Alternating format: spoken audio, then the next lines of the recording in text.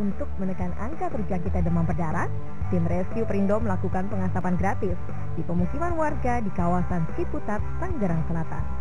Ya intinya kami ingin uh, daerah di lingkungan warga setempat bisa bebas dari DBD ya dan juga ada beberapa virus yang sudah uh, men, uh, sekarang berkembang seperti virus Zika dan lain-lain. Tidak hanya itu, di kawasan Pinang Tangerang, pengurus DPD Kota Tangerang menyerahkan empat gerobak gratis kepada pedagang usaha mikro kecil dan menengah.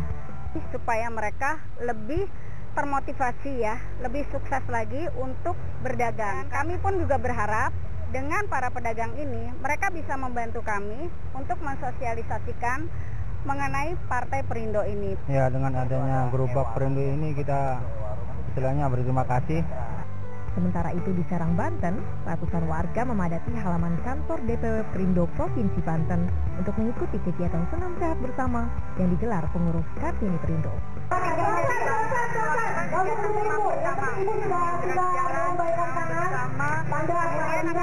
dengan bakti sosial. Ini adalah dari Kartini Banten untuk melakukan senam bersama. Dari Provinsi Banten, tim liputan MNC Media melaporkan.